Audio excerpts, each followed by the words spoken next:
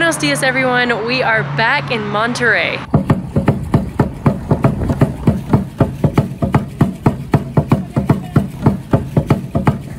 Feels great to be back in this beautiful city in northern Mexico. It's one of the biggest cities in Mexico. There's a lot of reasons why we keep coming back. In our last Monterrey video, we checked out some of the most popular spots in Monterrey, like Parque Fundidora, Barrio Antiguo. But in this video, we're gonna focus more on the surrounding areas of Monterrey, like a Pueblo Mágico, a waterfall, and also the richest municipality in all of Mexico. So come along with us. We are starting out here in Macro Plaza, and this is the largest plaza in Mexico. It's a great place to sort of start your adventure adventure out in Monterrey. Not only does it have some beautiful scenery, some art exhibitions, some beautiful architecture, and it's really conveniently located. It's a very central location. It's also a cool place to come get a massage. Right behind me where I just walked through, they're giving like massages right here on the sidewalks. Something amusing to me about Mexico is that even in warm degree weather, you'll see most people are wearing hoodies if it's below like 80. Right now it's about 71, there's a high of 77 today, and 90% of people, myself included, have like a hoodie on or a light jacket of some kind or at least a sweater. Me and Lauren are really fitting in without even realizing it. I guess we've been in Mexico long enough now. I got a jacket on. Long sleeve, pants. pants. When we first came to Mexico, we were like flip-flops, tank tops, and all that stuff. If you're not at, at a beach destination, you really don't want to do that. You're gonna stand out like a sore thumb picture for optional I Spy game. We are gonna head to a popular waterfall. It's about 30 minutes outside of the city, um, outside of a little Pueblo Mágico called Santiago. Okay, so we came to Central de Autobuses um, in the industrial section. It's like the main bus station in Monterrey. And using this company, AAA, we got tickets to Santiago for 30 pesos a person. All right, so we made it to Santiago. We got dropped off here in the Plaza El Cercado, and there are some mini buses waiting on the front. They do say that they take you to the waterfall. We've arrived at the waterfall, and we took the bus from the Plaza El Cercado, and it was a curvy mountain road on the way up here with beautiful views, and it only cost 50 pesos for both of us. Gracias. Buen día. We paid our entrance fee to the waterfall. It was 40 pesos a person, and this waterfall is called Cola de Caballo, which means in English Horsetail Falls. It's only a short walk to the waterfall, so we're headed there now. The scenery out here is just amazing, and the drive here from Monterrey was incredible. Lots of switchbacks and a windy mountain road, but the scenery and little towns clinging to the sides. And the water out here is crystal clear. And as you can see, they have a lot of touristy options, like they have zip lining out here. I think they have bungee jumping. They have like an obstacle course. You can get a horse ride up. Uh, we're just here for the falls, but they do have a lot of things you could do if you wanted to spend some more time here. It's just crazy that from a bus station in Monterrey, you can come out here and just be surrounded by all this mountains and nature. Even more bathrooms we're passing now. There's so many nice bathrooms out here that are free to use once you pay to get in. It's uh, very, very green. I could get used to this place. This is beautiful.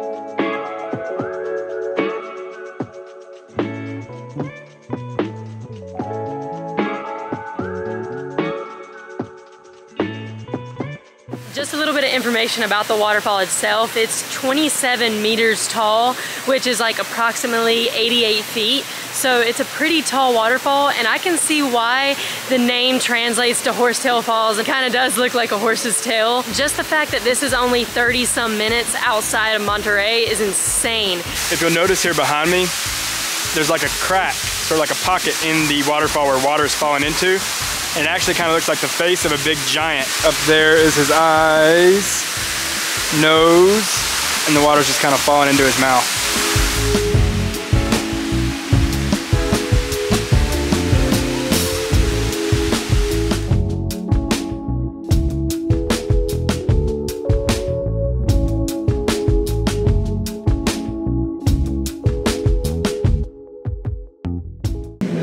Stopped off in this restaurant um, called Tiki Loco to grab a beer because we're waiting on the next bus to come through. All right guys, so that restaurant we stopped at for a beer, we actually didn't know when the next bus was coming down to take us back to El Cercado. So a waiter there at the restaurant offered to take us back down. We just paid him um, gas money and some extra. We paid him 120 pesos to give us a ride back down here instead of waiting on the next bus. Hasta luego. We're gonna go to over to Santiago, like the city center, and check out the iglesia and stuff, and see the rest of the reasons why this place is a Pueblo Mágico. If you've been following us for a while, you probably know that we love to visit these Pueblo Mágicos. But if you're new here, I'll give you a quick explanation of what these are. It translates to Magic Town, and basically Mexico's tourism board has sort of designated certain towns throughout the country that don't get enough tourist attention or historically have not gotten enough. They designate them as special, either historically, culinary, culturally, something to do with nature, natural beauty, arts. So there's always a great reason why something is given the designation Pueblo Mágico. You really should visit as many as you can if you get the opportunity because they have never let us down. We've always loved every Pueblo Mágico. We can always see why they've been given that designation. We took a taxi from the city center of Santiago right outside of town to this Malecon and public access area for this lake called Presa La Boca. Very, very beautiful, it's surrounded by mountains. But right now the water levels are extremely low as you can see. It has like restaurants, you can get horseback riding. On the other side some beaches, several little resorts dusted here and there. I mean who would guess this right here is hidden in northeastern Mexico. It's like a little taste of, the, of Hawaii or the Caribbean. Now obviously right now the water is not super beautiful. A lot of this is very dried up, but still just the surrounding mountains and scenery here is just unbeatable. What do you think, Lauren? Yes. I love Santiago. I'm so glad we came here. It's such an easy trip from Monterrey that you cannot miss it when you're here.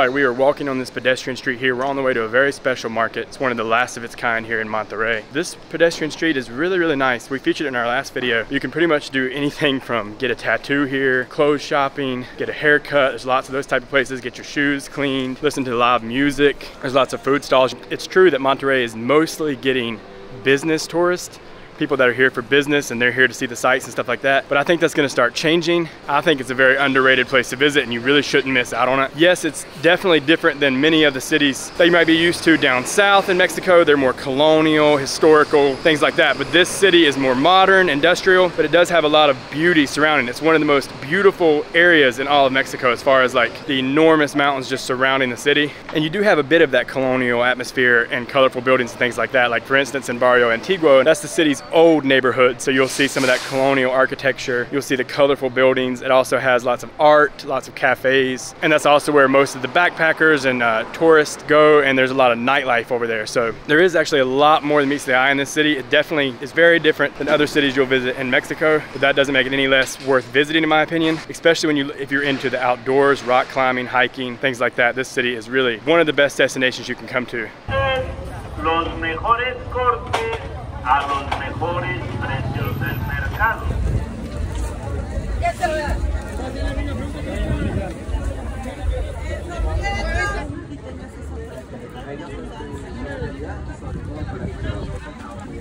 We're here at Mercado Juarez. This is a market that we missed last time we were in Monterrey. There are a lot of markets here in the city, but this one is beloved by all the locals. They actually refer to it as El Corazon de Monterrey, which is the heart of Monterrey. It has over a century worth of history here. It was founded in 1909, and then in um, the early 1990s, they demolished it and completely renovated it. Also, um, it's known to have an insane food scene inside, and we're really hungry. So right behind me is El Pipiripao. Probably saying that wrong, but it's a famous restaurant for cabrito here in Mercado Juarez on the second floor. Now we tried cabrito when we were here the first time. Uh, we weren't the biggest fans of it, but it was an interesting experience. But basically cabrito is baby goat meat. They eat the goats younger because of the flavor and the tenderness. Now honestly, a lot of people say, oh, that's barbaric. And yeah, I can see where they're coming from. It does sound barbaric, but it's really not any different than eating like barbecue or veal, especially veal. I mean, it's pretty much the same thing. Here in northern Mexico, like this state, uh, Tamaulipas, Coahuila, a lot of these states, they raise the goats there. And it's a big, big family tradition. Uh, like a celebration type meal. Now we ate last time at a place that is more touristy and it was a lot more expensive. Uh, but today I don't know. I don't think we're gonna have any cabrito. We tried it last time. I wasn't that big on it. Yeah, I mean, we- we don't have anything to celebrate. Yeah, we don't have anything to celebrate at the moment. So- All right, who are we kidding, guys? We're gonna eat some cabrito. How can we talk crap if we haven't even tried what's considered some of the best? So we're gonna try it again. I got the tacos de cabritos, and Lauren got the chilaquiles. Yep. And if you're not familiar with chilaquiles, it's one of our favorite breakfasts anywhere. Um, it's very heavy breakfast, but it's rumored to cure hangovers. It's basically just tortillas simmered in salsa until they kind of get um, soft. A form of it dates back to the Aztecs, but it's obviously been changed a lot. And I think the Spanish came and influenced different versions of it. So the history of it is sort of cloudy, but it, it is believed to date back thousands of years in Mexico. So that's a really cool part about it. Yeah, and just to add, like a lot of really great dishes that we've tried in Mexico have been regional, but we've had um, chilaquiles in a lot of different states in Mexico. Yeah. Oh, okay, gracias. Gracias. All right, so the tacos de cabrito, it came with like five little tacos. It's served with some lettuce, tomato, onion. So we'll see how this goes. Mmm, it's not even seasoned very heavily because it's already so flavorful. Gracias. Really good. Probably some of the best I've had. Yeah, that is phenomenal. It's got a bit of a kick to it, it's a little spicy. Salsa on top, sour cream. Is that sour cream or some kind of?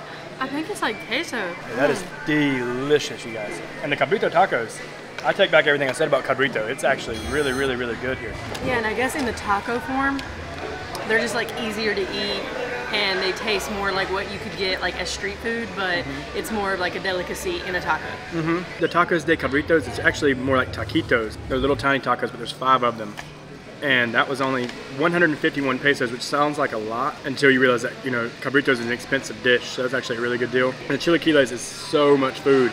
I think this was less than 100 pesos. It was 75 pesos without the egg. And I think with the egg, it was still less than 100 pesos. All total here, it's a little over $10 counting the drinks, maybe about 12 $13 counting the drink. We are stuffed. So big apology to our vegetarian audience. We did it again with the cabrito. It was not very crowded when we came, but we noticed they're really getting ready for the big crowds now. It's just after lunchtime right now. And in Mexico, uh, a lot of times they eat a lot later, especially something like cabrito. You'll notice in Mexico and most Latin American countries, you'll see a lot of people eating late. I think that goes for lunch, but especially goes for dinner. I love that this market has an old glass elevator and we're gonna go see if we can ride on it. Um, I guess Okay, so it turns out just anybody can ride the old elevator, which is awesome. The view of the old market is so cool. I absolutely love it. But the cool thing about this is too, is now we have an amazing view of the city. Now today is the smoggiest day we've been here yet. And we spent a lot of time in Monterrey. We've never seen this much smog. Honestly, the view kind of sucks today, but on a clearer day, definitely come to the market and ride the elevator up to the parking deck for these views. We always see the really nice metro running through Monterrey, but we've never used it before. So we're actually gonna go today and take it as public transportation and see what it's like.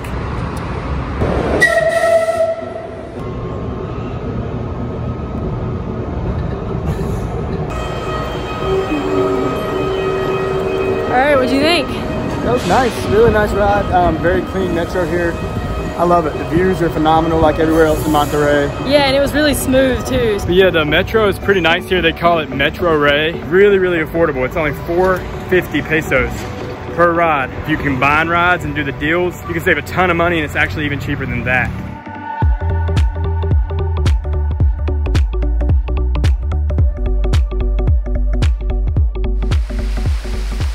Paseo Santa Lucia, definitely one of my favorite parts of the city because there's so much to do in this area. Not only does it go all the way through Parque Fundidora, but it has lots of restaurants on the side, lots of cafes, lots of art. You got world-class museums right here along the Riverwalk. Definitely lots of points of interest and things to do. Yeah, I would even go as far as to say this part of the city is very futuristic, even with the old industrialization turned into art and then this crystal clear river, beautiful wide open sidewalks. It reminds me of something like that the crew of Star Trek would be beaming down to on some planet hundreds of years into the future. This museum behind me is dedicated to the city's like industrial history. It's like a science, steel, and technology museum now. It's literally located in an old blast furnace. This is really, really amazing. I did not expect it to be this high up, but we are up here in this old blast furnace and the elevator we took up was all original. It was amazing. It felt like you're going straight up, although it is a bit of an angle. This has to be the coolest part of visiting Museo del Acero. It's a steel museum, but it's a lot more than that. It's kind of like technological and more innovative. The museum part of it is very interactive and there's tons of like games. But for us, the funnest part was taking that elevator up to the top of the steelworks. And then when you get on the top, you have phenomenal 360 views of Monterrey. And just for anybody interested, if you want to come to this museum, the tickets are 150 pesos per person. Um, and that includes like all access to the museum and the elevator ride up to the top.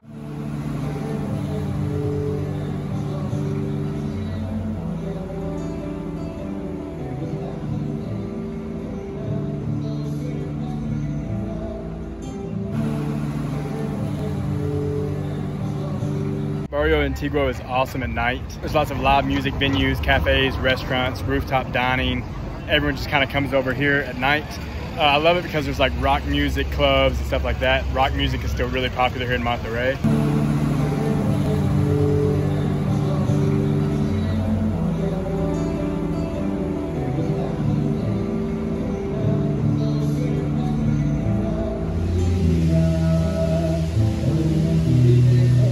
Gracias. Delaware. Delaware, okay, Oh, I've been there. It's nice. Beautiful. Es muy, muy bonito estado. We just got a gordita con frijoles and huevo, which is this like pocket of tortilla that has eggs and beans inside of it. It looks really good. Mm. It's so good. We're here in San Pedro Garza Garcia. It is a city on the outskirts of Monterrey, but it's basically just a suburb of Monterrey, and it is the wealthiest municipality in Mexico. Some say it's even the wealthiest in Latin America. There's a ton of skyscrapers, luxury shopping malls, beautiful green spaces, and it's insanely different from downtown Monterrey and just the surrounding area of the Centro. San Pedro Garza Garcia is home to the tallest skyscraper in Mexico. It's right behind me and it is 280 meters tall. The contrast here in San Pedro Garza Garcia is kind of uh, crazy to see because you have all of this wealth, all of these skyscrapers, all of these headquarters, and then nestled in the hills are these compact barrios overlooking all of these skyscrapers in this wealthy part of the area.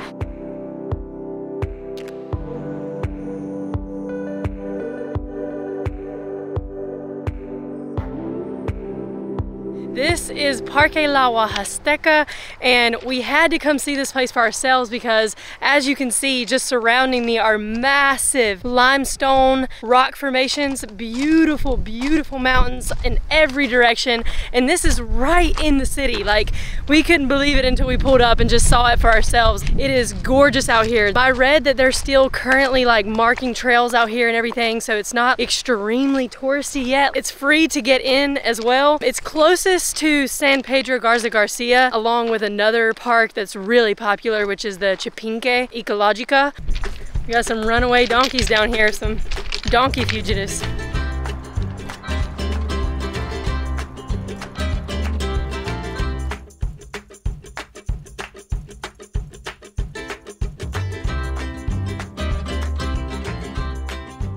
I think Monterrey has to be the best big city in Mexico for hiking. I mean, the amount of hiking options here is incomprehensible. Right now we're at Chipinque and this place is so lush and green and beautiful. We paid 60 pesos a person to get in, which isn't bad at all. And then right here, if you can see, we're looking out at Cerro de la Silla, which is Saddle Mountain, and that's another great hike in the city that a lot of people recommend.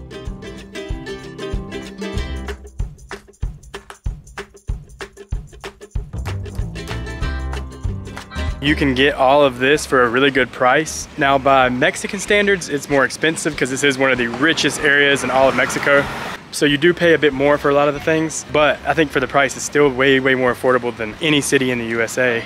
Like we can stay right in the heart of downtown Monterrey, usually for about 30 to $50 a night. And that's a pretty nice place to stay. You could, you could probably go a lot more affordable than that. And you could definitely spend a lot more than that if you wanted something luxury. But that's sort of a middle ground. You can expect to pay around $40 a night if you're just here on a vacation and you're not booking a monthly accommodation. Definitely, it's very affordable for what you get here. All right guys, that's all we have for today's Monterrey video. If you haven't watched the first one, make sure you go check that one out and subscribe to our channel and give this video a big thumbs up. Yep. Till next time, guys. Hasta Cheers. luego.